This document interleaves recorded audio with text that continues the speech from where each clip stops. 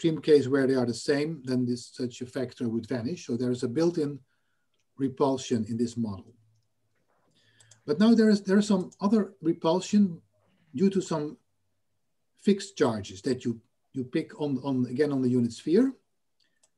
Uh, they're like r plus one of them. I use r as, as this parameter in this model. They're located on the sphere somewhere and um, and they come with some uh, uh, charges A0 up to AR, which are positive numbers. And each uh, external charge here uh, repels the, uh, has a repelling force on, on all the other free charges, which is reflected by this extra product, this extra factor in this product, right? And it comes with a exponent to NAK, which also you see an N here, which means that it's also growing with N. So the repulsion um, uh, gets stronger if you increase the number of points. And that's sort of to create a balance between the repulsion due to these external uh, charges and, and the inner repulsion from, from the N free charges. And so we, uh, we were, uh, Juan and I, we were sort of interested in this model uh, also because of a paper by uh, Johan Brauchart, uh, Peter Dragnev, who I happily saw in the audience, Ed Saff, and, and Rob Womersley, where they analyzed this, this model, and actually the ground state here, which I will do as well, just the, the, the point configuration that, that minimizes here this, this expression. And, they observe that in the large N limit, uh, these fixed charges that you have on the, on the, on the sphere like here and here, and here as well, right? And maybe some other in, in, that you don't see. Um, they create around them a, a, region that's free from the free charges, free from the XJs, right? And, and they also observe that if, if these, uh, these AKs, so the, the charges that are at these, uh, that you have, the, the amount of charge that you have at, at, the, at, the, at these fixed locations, if that, these are small enough numbers, then these regions are just spherical caps, right? And they were able to create such nice, nice figure that I stole from their paper. Um, here, um, right? And so you see what happens. And then, they, but I also observe that if these, um, that these AKs are, are getting larger, there's more repulsion, repulsion right, from these uh, fixed charges then these um, uh, disjoint spherical caps, they may first come together, right? They have a, a Sorry? Uh, okay, that's nothing. And, and, I think and, it was just someone that was accidentally unmuted, that's all. yeah, I, I, got it, yeah. Um, and if you increase further, then they may just overlap, right? And then, but then the whole picture gets deformed it's no longer a union of, of spherical caps, but it's some other um, figure that here that you get, which is free from the charges, right? And, and the region that's, that is occupied by the free charges is no longer uh, the complement of, of disks, of, of spherical caps. And then the question is, what is it? Can we characterize it? This region with the, with the free charges, which is then known as the droplet right? And so um, that is um, our goal to describe or say something sensible about these, these regions that you get in this, in, this, in this situation. Another source of motivation is another model, which is known as the, the complex Ginibre ensemble uh, with a um, with an external source. And the Ginibre matrix itself, uh, which I already uh, came up in this work with from Krishnapur actually.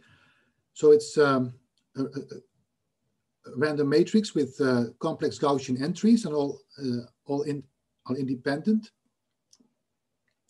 These points in the complex plane um, also have a nice, uh, an explicit distribution uh, for their eigenvalues.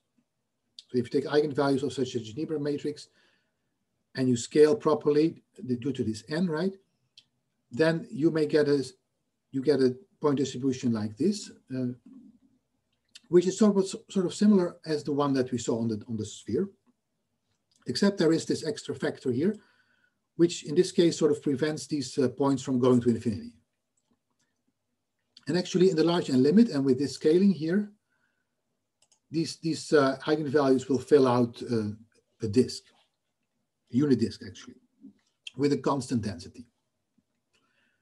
And then you can make a modification of, of this uh, model um, where you again put in some extra factors that you think of as due to some coming from some external uh, charges, right? Or yeah, some points denoted QK here, and they repel these uh, uh, other charges here. There's again, there's a repelling uh, uh, phenomenon here in this among these eigenvalues with a similar nature as, as here.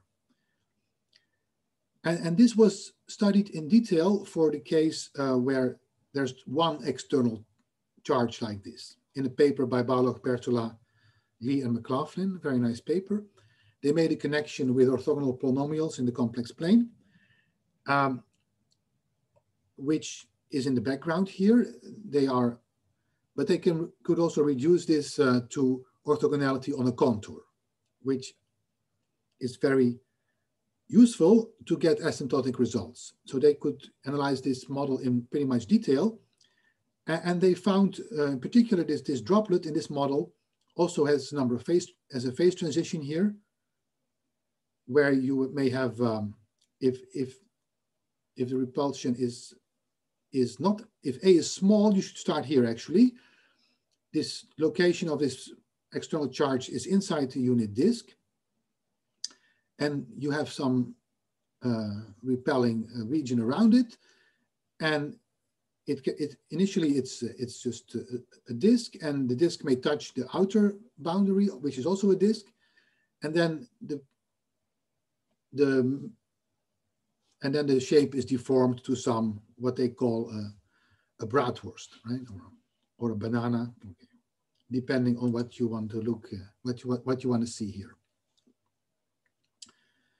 Um, so that's again, that's the second source of um, of motivation that that we had to um, to try and see if also in the model coming from the sphere we could actually find orthogonal polynomials and maybe even um, orthogonal polynomials on, on contours or a generalization here that's relevant if you have more than one external source, which goes by the name of, of multiple orthogonal polynomials. So that actually has not been successful yet to the extent uh, yeah, that I'm happy with that. I mean, that's, it doesn't quite work that nicely. And I, so I'm not going to report on these things that didn't quite work. But I will tell you what we could do. And this has to do actually only with the large n limit. So we, I'm not going to, I'm not, not able to say too much about the finite n case uh, yet. But still this finite n case is uh, gives us some hint what is the structure that um, is um, there's an extra structure here in the form of a so-called uh, mother body. So what is that?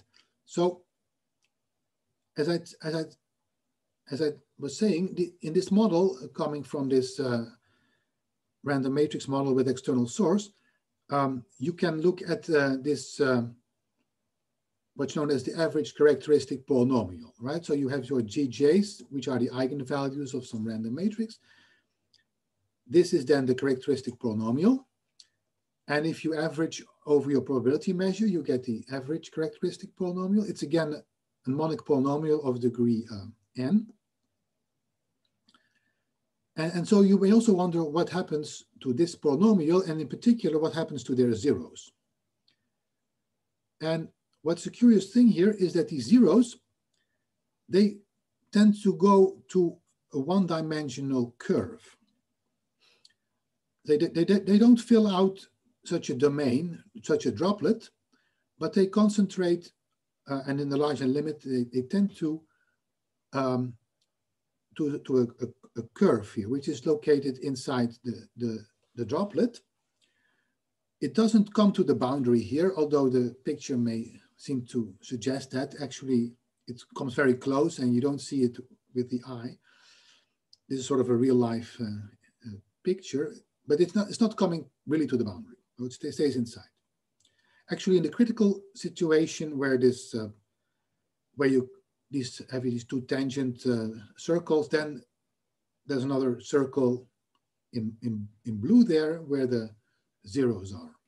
And they, then they are tangent also at this, uh, they also come to this point of tangency. And so that was um, uh, also actually done in this uh, paper by Balogh and, and, and, company.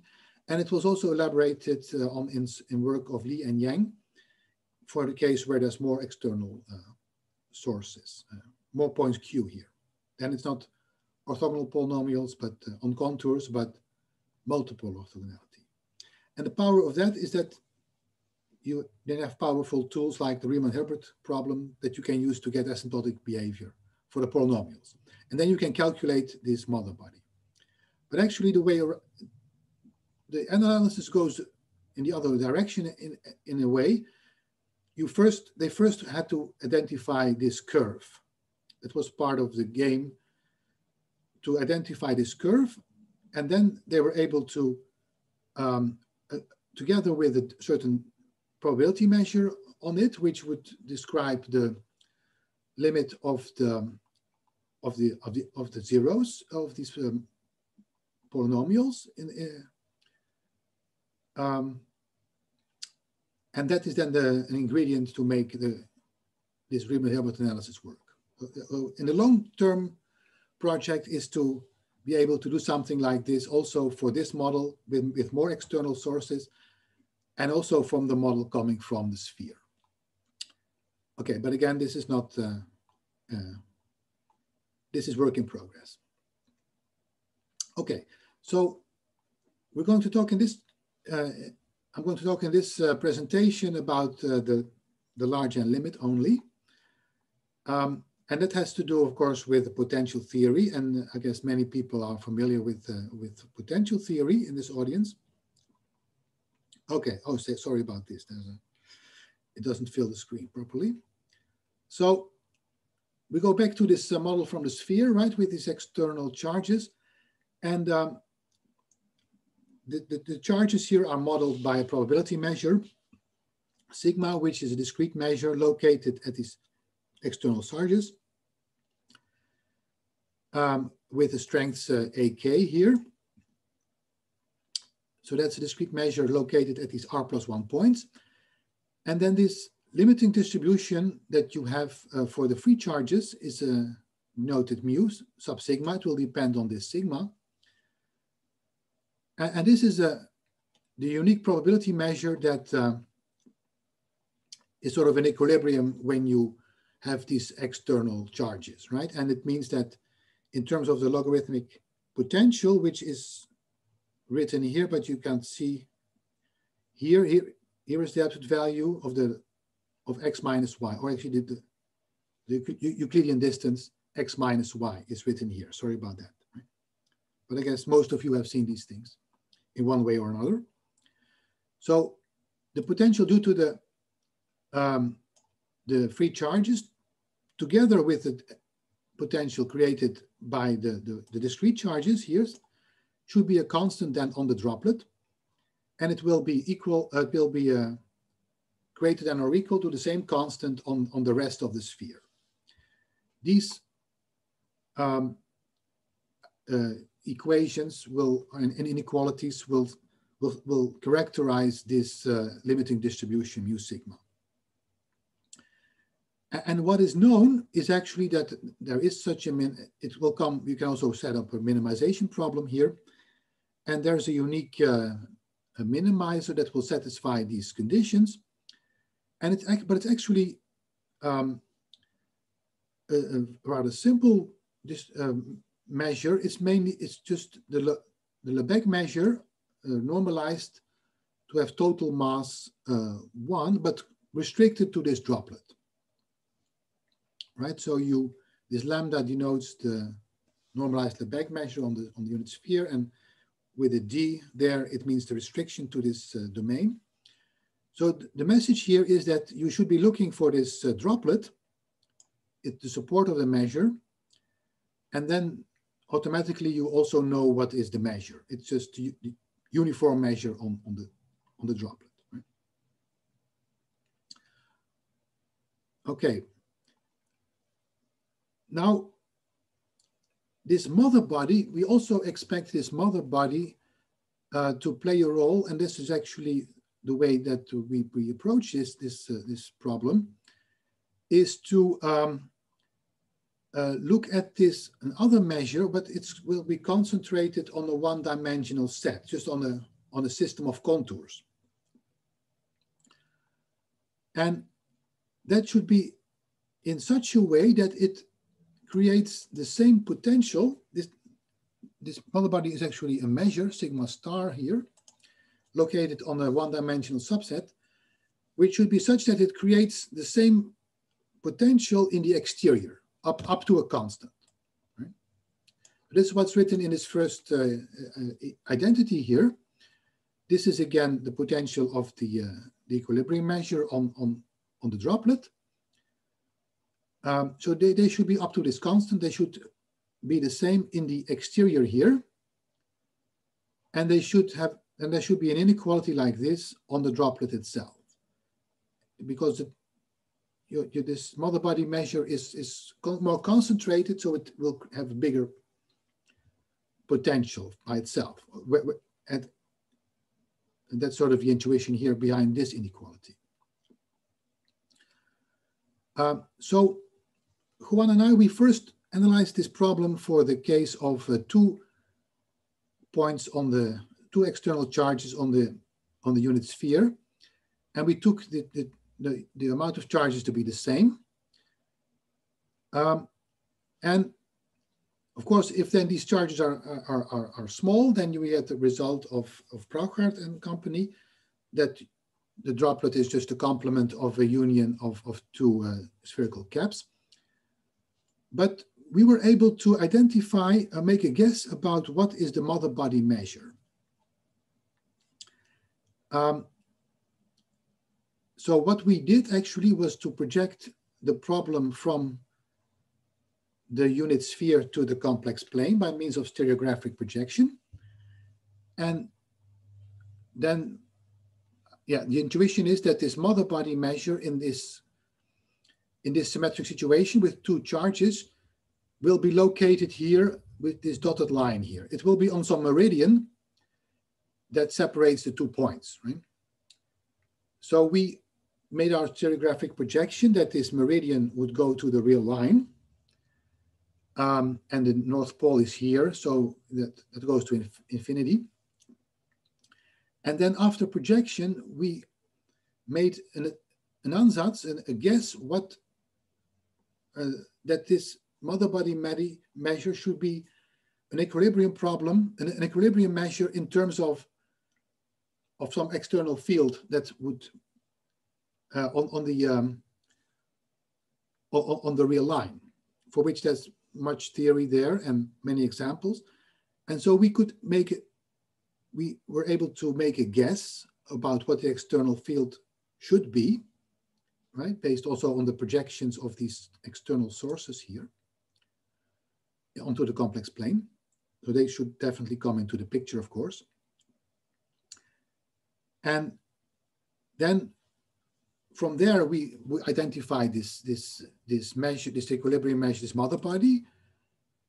And from there, we were able to identify a domain and a two-dimensional domain, which after projection back onto the onto the sphere, we could indeed prove these identities and inequalities here that you want. This one and the one from the, from the previous slide here. Okay, so we made a lucky guess or educated guess, right? And from there we could go on and, and prove these things. And what was sort of um, a bit of a surprise to us that um, in this model, this droplet um, or actually the complement of the droplet is projected onto an ellipse, right? So this, this domain here, if you do a stereographic projections, it becomes an ellipse. Or actually the boundary here is the boundary of an ellipse. So that's sort of a simple curve and that sort of, yeah, gives, shows what this region here is in this case. Okay, um, now in this uh, paper that is in the arXiv uh, this year, um, we we were able to generalize this um, to the case of um, uh, an arbitrary number of points, but we had to impose enough symmetry in order to get uh, to get a handle on to get a grip on, on the geometry of the problem. So we could, we could analyze the following situation. So these r plus one points here, they are located symmetrically around the North Pole on the unit sphere, meaning they have the same uh, uh, latitude, right? They are on a, um, and on this circle then there they are located also with equal distance right so they um, that's our situation. And also the, the the amount of charge that you have at each uh, uh, ex external uh, source here they're all the same. So that there's a rotation symmetry then. In an r plus one fold rotation symmetry. This situation uh, we could handle because then because of the symmetry, it we could sort of it, it's sort of uh, obvious that the mother body, whatever it is, but it should be then. You remember this measure that's located on, on a one-dimensional set. Um, that should then be supported on a number of meridians, r plus one meridians, going from the, the North Pole to the South Pole, right? that just separate these two, um, that, that, separate all these uh, PJs, right? So if you do stereographic projection, then you get um, this picture. And I, I do, I'm drawing pictures for the case R is two, okay? So that means that R plus one is three, right? So you have three um, uh, of those points on the sphere and they project to say points that are in these uh, holes here. Oh, okay. what happened there?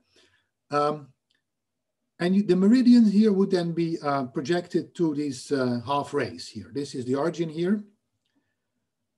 And, um, and this is then the picture that you would get for the case when these external char these charges here are small. The number A here that is is small enough so that you have disjoint uh, spherical caps on, on this on the disk on the on the sphere which project onto disjoint circles here. But if you then increase uh, with these, these, these charges, uh, the amount of charge, it, then there's more repulsion, right, from, from each of them. And then these uh, disks will grow. They become tangent, like in this situation. And the mother body is still this connection of half rays. But then um, if you still go on, then it's no longer the case, right? And then um, you have a situation like this, uh, which on the sphere means that the droplet is now, well, the droplet is now, uh, has two components. This component is from this region around the south pole, and the outer region here is from, is around the north pole which looks much bigger than the one here. But that's just a visual effect coming from the stereographic projection, right? So if you think about these charges, external charges to being in the Northern hemisphere, then if you increase further, it will mean that there's a, next uh, transition when also the region around the North Pole disappears. The droplet around the North Pole then disappears completely, and you only have what remains is this uh, region around the South Pole, which is projected to a region around zero. And then it looks like this. This is magnified picture compared to this one, okay? This is the picture where there's nothing here anymore. There's, again, the droplet now is uh, simply connected. Um, so that's sort of the picture that we have. And this is indeed what we were able to prove. That there are these two transitions that is reflected in, in, in the droplet, but it's also reflected in this mother body. The mother body here is these three uh, half rays, or actually that the measure that's located on the three half rays. And there's, in this situation, this measure will, will have a density and the density will, will, will be zero here at this critical point, this point of tangency. And then if you go on, there's a breaking here of the support in the mother body. Let's look here on the positive half line. And, this, and the support here of the mother body is, uh, yeah, has uh, this, this gap here, right? And then if you go on, then this, this piece here will then eventually disappear. And you only have the mother body, these three uh, segments here inside the droplet. Okay, so this is the picture and we're able to prove this, right? Um, okay, so how are we able to prove this? What's our approach? So the approach is that we, just as in the case of two external uh, charges, we first make an educated guess about the mother body. This mother body should satisfy, which, which we know is located, what we expect is located on, uh, on these uh, half rays. Um, we will first set up an equilibrium problem that whose minimizer gives this, um, this mother body. But it will be a vector equilibrium problem, right? So that's um, the, thing. And, and actually, for it will be convenient for us first to undo, to remove the symmetry, right? Because in this setup, it was all uh, symmetric over rotations R plus one fold symmetry. We remove this by, in the complex plane, we are by mapping Z to Z to the R plus one, right? So then these R plus one half rays, the three of them here, are all mapped to the positive half line. And so then we're looking for, uh, and after this mapping, this mother body will be some measure then on the positive half line that we want to characterize first. Once we have the good candidate, we, we go back by introducing the symmetry again, and then if we want, mapping it back to the sphere. So we're, we're focusing on, on the situation now where we are on zero to infinity. And then, yeah, we expect these three cases to happen, right? That this, the, this mother body is supported on an interval from zero to some something, or on a disjoint union of two intervals, one with zero, the other one going to infinity, or we want, we expect to have the whole half line, the full half line. And we use these acronyms, right, that we like to use here, BIS, TIS, and FIS. The bounded interval support case, two interval support, or the full interval support case, okay, just to uh, this terminology will be used. We will use it.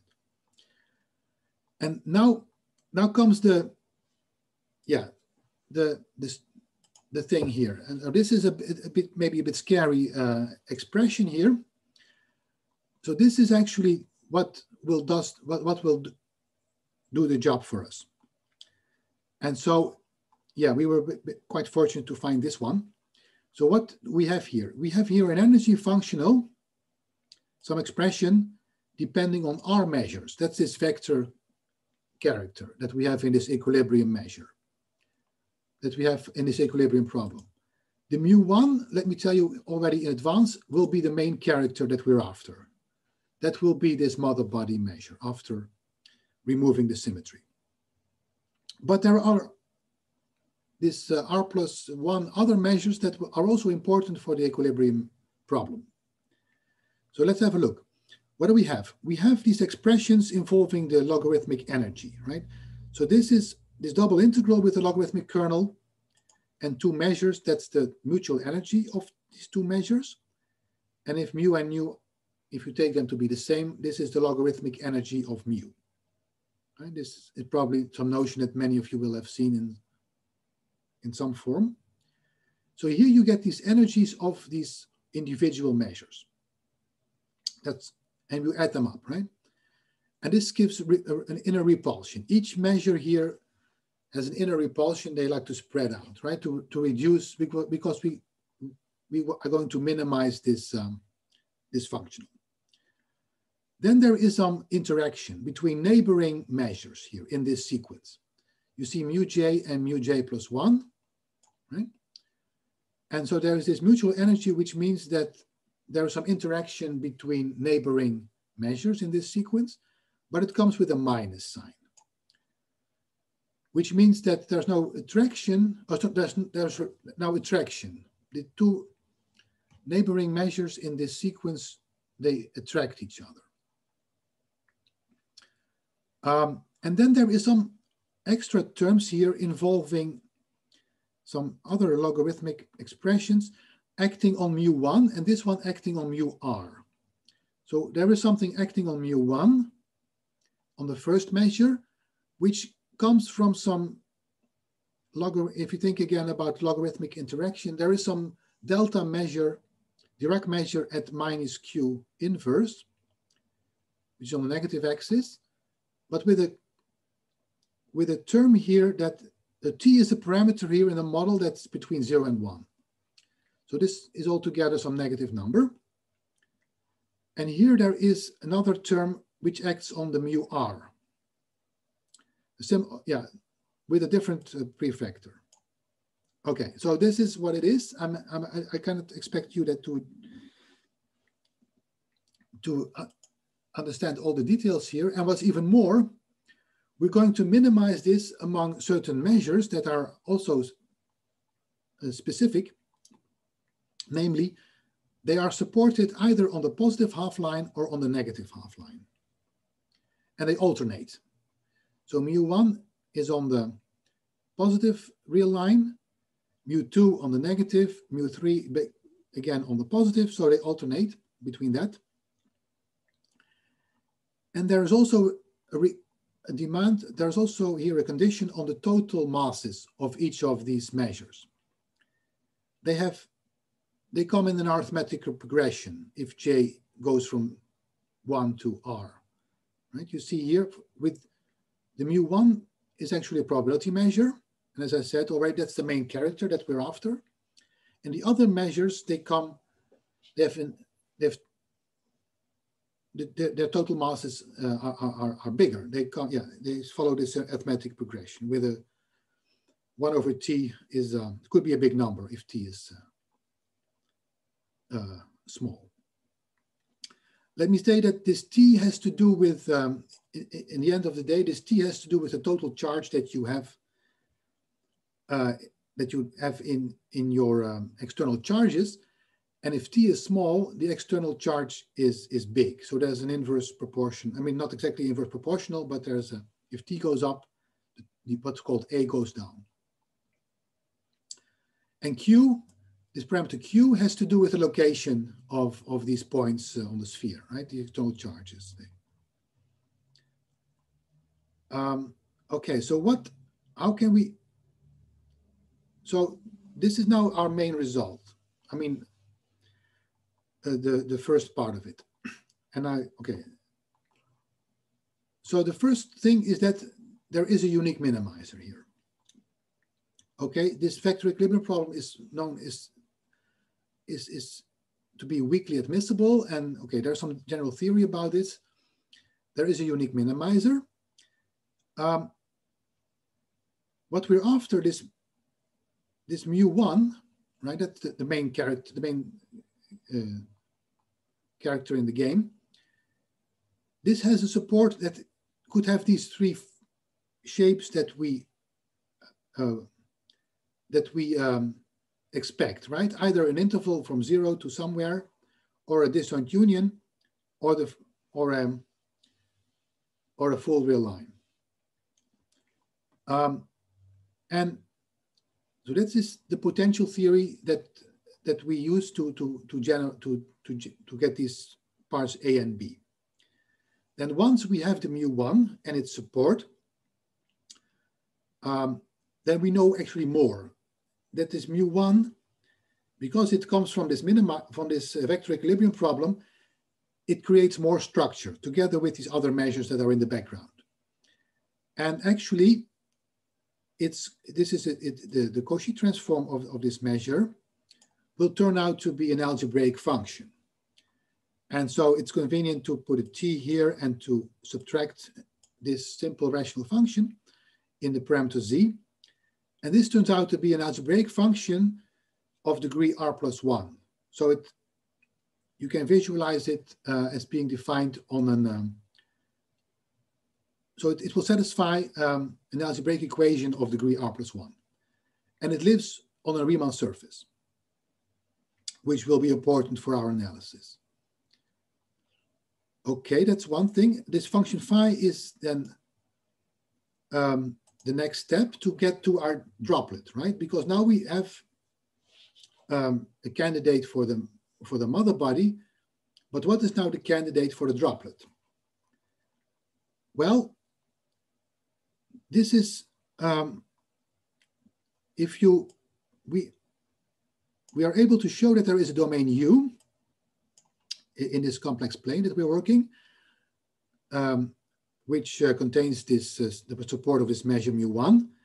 And the boundary of this domain is characterized by an equation like this, involving this algebraic function. So z times phi is some expression here involving absolute value of z and some peculiar exponent. And that's actually what we like and if we then use this domain U, uh, let me show you some picture. This is actually the picture of U.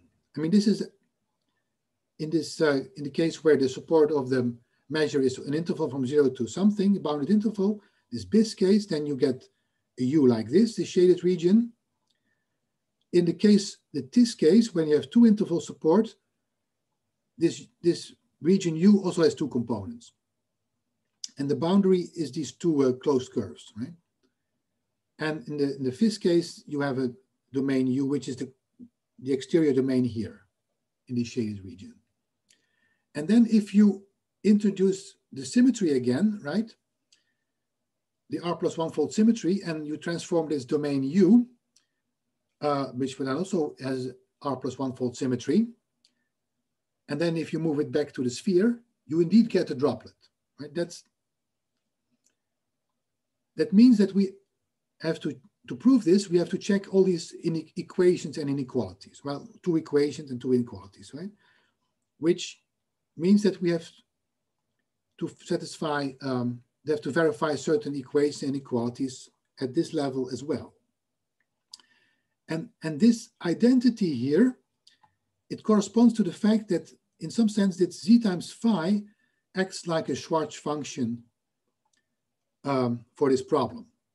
Some uh, you have you don't have um, yeah or, or phi I should say phi itself. So phi itself after transforming back will give us some function that will act as a, as a Schwarz function for this problem. And this is another ingredient that makes the problem work,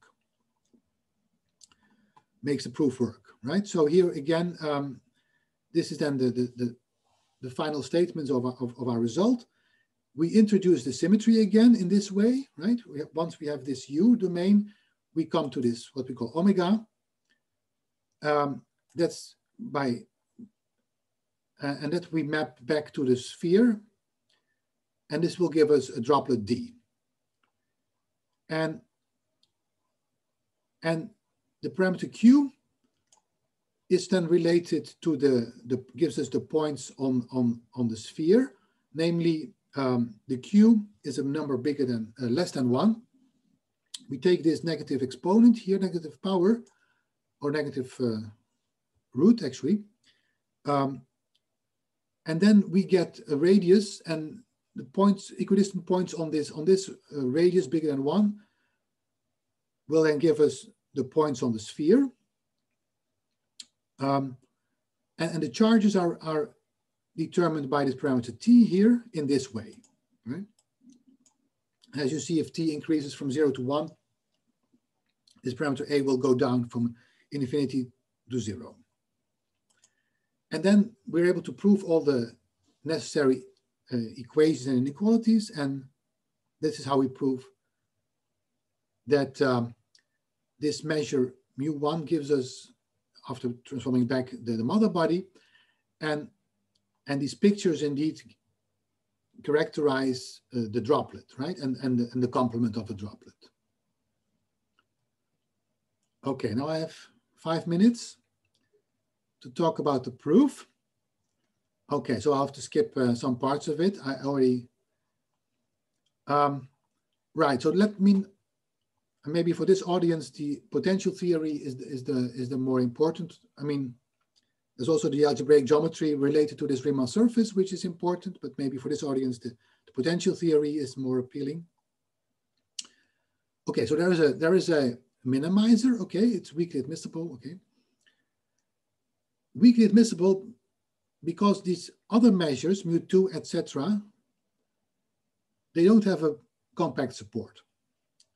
Actually, the mu1 may also have an unbounded support.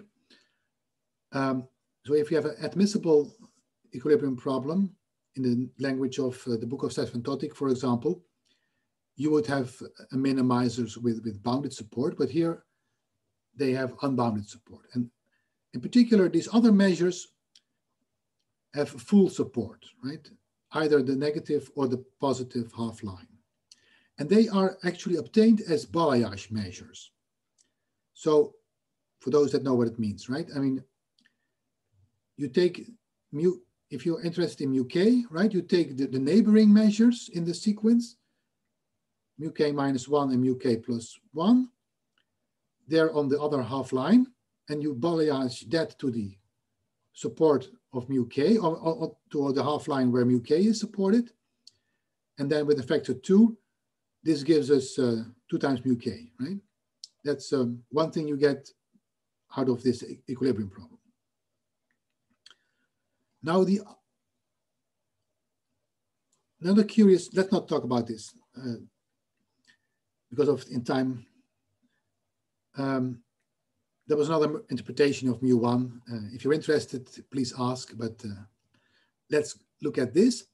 The measure mu1, you may also obtain it as an, a balayage measure, but of, of, this, uh, of this one. So you have this mu2, which is on the negative half line. And this measure is a delta measure located at minus q, so also on the negative half line, but with a coefficient which is negative. Remember this t is less than one. So this is actually a negative measure that you may balayage onto the positive half line. And mu2 is a, a positive measure that you balayage onto the positive half line. In total, you get something with total mass one, but it need not be positive, right? But if it is positive, then it is actually the mu1. And it happens in the full interval support case, right? So in, in the case when the, if you go back to the sphere, where we have disjoint spherical caps. But this is the initial uh, observation to prove these, uh, to get our hands on the support of mu1 in the general case, namely these, now it's four cases in general. You may also have an interval from a positive number to infinity. And we use an, a method that uh, I developed uh, already 20 years ago or more even with Peter Dragnev that we call the iterated balayage measure uh, algorithm, which means that we start from this expression, this balayage measure, but we're in a situation now where it's not positive, but it's partly negative. The total mass is one, so there's, a, there's more positive than negative. Uh, but still there's some negative part and this we don't like this negative part. Then we can put this, take this negative part and balayage it to the support of the positive part. That's what this balayage algorithm does. Since we balayage some negative pieces onto a positive measure, onto the support of a positive measure, the, the, the measure there goes down, but somewhere it may again be neg become negative. Wherever it's negative, we continue and make another step in this balayage algorithm to move whatever is negative there, we move it to the positive side and we go on. And this, okay, this balayage algorithm is, okay, that's what it is. But we're able to analyze this in this situation and say that we, because of the special structure that we have in this equilibrium problem, it's a bit delicate, but we are able to do it, that we keep this structure of the support of the positive part throughout this algorithm. Each step of the algorithm respects this, these, these, four, these four possibilities are there and no more than that. And also in the limit then, we keep this uh, these two up, these, these possibilities. So that's actually a, a, main step in the proof. This is also important that certain uh, proper uh, uh, notions vary in a, in a monotonic way in terms of the parameter t. That's another important ingredient for our proof. I will not go further on this. And then this Riemann surface but I'm, I'm out of time already, so um, I will not uh, talk about it, right? We, we, we use these supports of the measure to, to create a Riemann surface, and, and then this meromorphic function is there. Um, and then, then we go on, as I as was stated in the, in the, in the, in the statement of the theorem, to create this domain U, which has this, that we can characterize in this way. That's again a pretty delicate calculation, actually. It's a, a bit of a miracle if you believe in miracles. Um, but I'm at a Catholic university, right? So I'm allowed to believe in miracles. And so, um, and then you go on and uh, you prove, we prove a thing, right? So that's um, basically it. Okay, so that's uh, uh, that's all. So thank you for your attention and thanks again for the invitation. Uh, to speak here. Thank you very much for the nice talk. Um, questions and remarks? Has somebody questions? Um, yes, perhaps, if I even may. Uh, just wonder about the, hi there, how are you doing? Um, so if we go, perhaps go a couple of slides back where you show the, the cases of this, Yes. No. Oh, here, um, here, yeah, this the four cases. Yes, this one, this one, yeah. Yeah. Yeah. Uh, uh, this this this case, right? The second case where you have these two intervals joined. I just wonder. So x1 and x2, is there is there some uh, special connection to it? Can you say something about the distance between those two, or is this something that that might just be an arm? um, yeah, they come all from this algebraic equation, right? So the, mm -hmm. they, there's, a, there's one parameter family here there. Um, now we cannot say that one is the reciprocal of the other or something. Um, mm-hmm. um, no, I, in our paper we don't have any uh, statements about that. Okay. Yeah, could be something, but um, yeah, we did not uh, think about that. Yeah. All right. Thank you.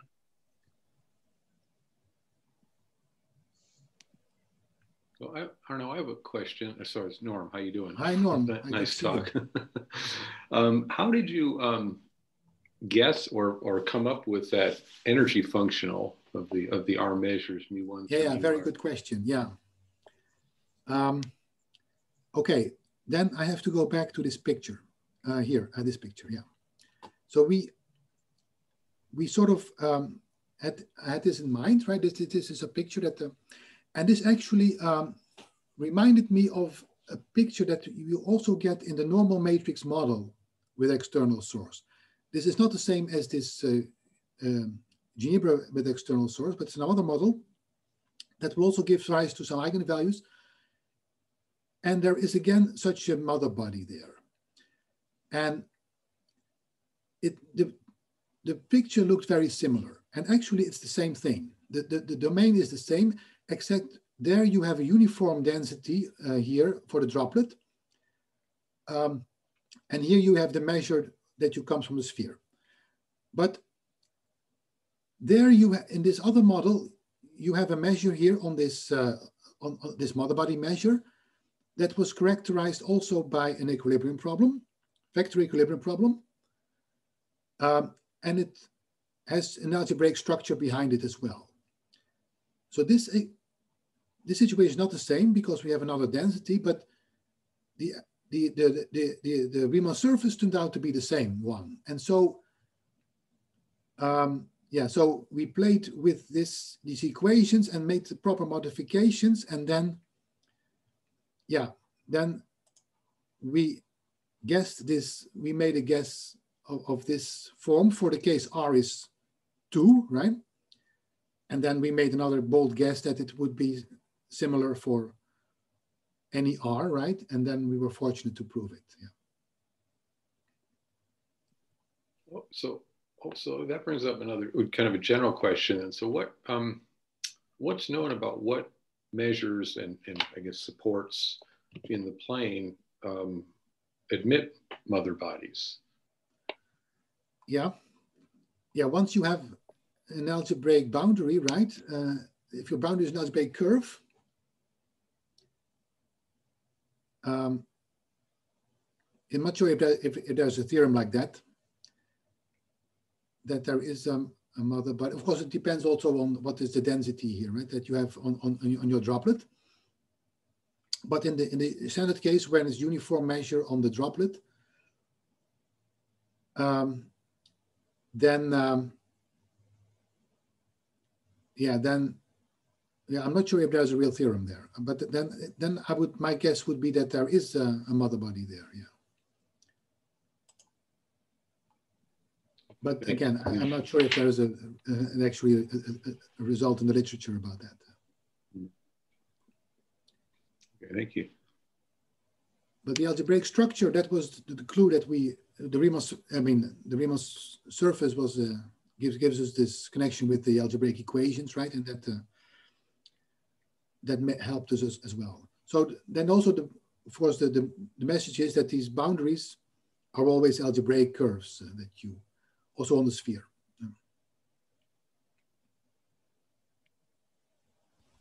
So, so in your case, probably the existence of mother body just follows from the symmetry, rotational symmetry. So, so you it's clear that you yeah. should have a one-dimensional average like that, just because right. the measure is exactly yeah. So that's why we were successful. We we, we know we knew in advance where to look, right?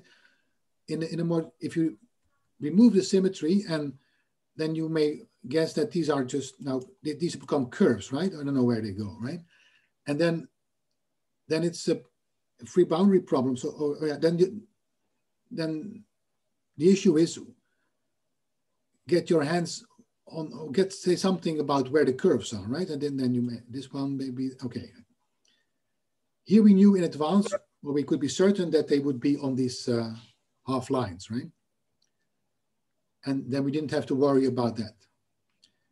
If you, yeah, my, my feeling is that you can still handle such cases and, and you come to curves that are, that are symmetric in some external field, right? Like an S curves with S property, if, if you know, if you heard that the term.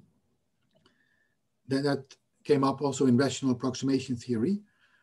Um, but now it will come in a vector equilibrium setting. So yeah, there's, uh, um, yeah, I'm involved in a project um, where we try to get our hands on, on that in a specific situation. But to find the right curves is there a major issue. Yeah. I see. Thank you. Uh, Peter Dragnev here. Just wanted Hi, to uh, make a comment that uh, Alan Legg, he's in the audience, and I have something about uh, the complement of the droplet that it's a quadrature Hi, domain. Hi, how are you? Good, good. How are you? I'm yeah. doing good, thanks. That's right, Peter and Alan. Yeah, so I, I, I should have mentioned it in the talk. Yeah, you have uh, a general result, right?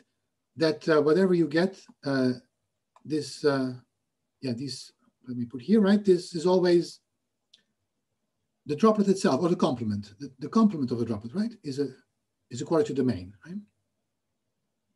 yeah, so there's a lot of structure there which is known. Um, yeah, so there's, yeah, you can do many things with these kind of problems, as we all know, right? That's why we like uh, point distributions in general, right?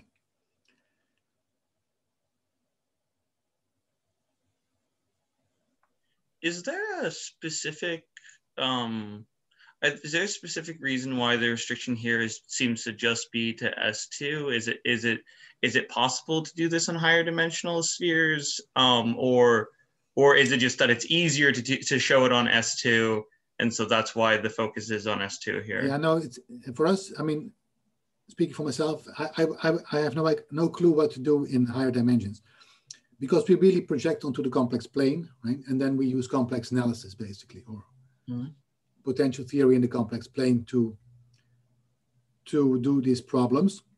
Um, then, yeah, uh, if you, I mean, this this problem with these disjoint caps, I guess, Peter, this can be done in a general way, right? In general dimensions, I, I guess. So some things can be done, of course, in, in high dimensions, but um, detailed analysis, including these phase transitions, right? I've never seen, um, of, uh, there may be something, but I, am not aware of results in on higher dimensional spheres. So. I see.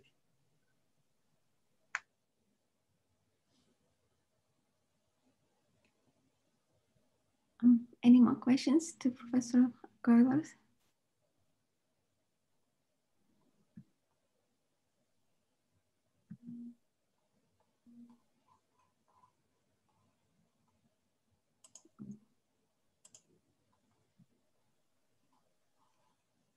Okay, so we can probably stop recording, right?